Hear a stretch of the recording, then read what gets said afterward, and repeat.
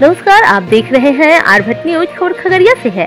खगड़िया ज़िले के बेलदौर थाना क्षेत्र के डुमरी पंचायत के पंसलवा गाँव के दो सगे भाई मोटरसाइकिल से अपने मवेशियों के लिए चारा लाने जा रहे थे कि पीछे से अनियंत्रित ट्रैक्टर ने दोनों सगे भाई को पीछे से रौन दिया।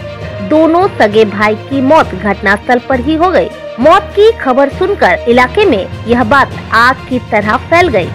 मृतक की पहचान डुमरी पंचायत के पंसलवा गाँव के वार्ड नंबर 10 पंसलवा गाँव के रंजीत सिंह के 19 वर्षीय पुत्र भानु कुमार के रूप में हुई है, जो बीएससी सेकेंड ईयर नर्सिंग का छात्र था एवं छोटे पुत्र 17 वर्षीय सुमन कुमार, जो बीएससी फ़र्स्ट ईयर नर्सिंग का छात्र बताया जा रहा है, जो अपने घर से अपने मवेशी के लिए चारा लाने के लिए डुमरी बाँध बहियार जा रहा था। इसी दौरान उस रहा बारुण पथ पंसलवा मोड़ के समीप, चोढ़नी गाँव से आ रहे अनियंत्रित ट्रैक्टर चालक ने दोनों सगे भाइयों को ट्रैक्टर ने रौन दिया। वही घटना की जानकारी मिलते ही घटना स्थल पर पहुंचकर अंचला अधिकारी अमित कुमार, थाना अध्यक्ष Shiv Kumar Yadav, zero mile police picket के पदाधिकारी मोहम्मद मनीर हुसैन समेत पुलिस बल उक्त स्थल पर पहुंचकर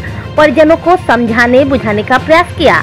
लेकिन ग्रामीण इतना आक्रोशित थे कि प्रशासन की बात को अनदेखी कर दिया, जिस कारण करीब तीन घंटे तक सब घटनास्थल पर ही पड़ा रहा। पब्लिक को मारा जा रहा है, कपार फोड़ा जा गया और प्रशासन आया है एक घंटा के बाद। इस तरह से बिहार चलेगा क्या? कितने घंटे से काम थे? एक घंटा से यहाँ पर हम लोग फंसे हुए हैं कोई देखने वाला नहीं। इसको जो मन आ रहा है गाली गलौज अनशन कर रहा है। कहाँ से आ रहे हैं सर? हम बेगूसराय से आ रहे हैं। जी सर आपका शुभ नाम? मनोज सिंह। पंसलवा जमींदारी बाँध पर क्या घटना हुई है? आज ट्रैक्टर से पंसलवा गाँव के दो सहोदर भाई के जो रंजीत रंजीत जी के पुत्र थे उनका उन ये हो गया, डेथ हो गया है।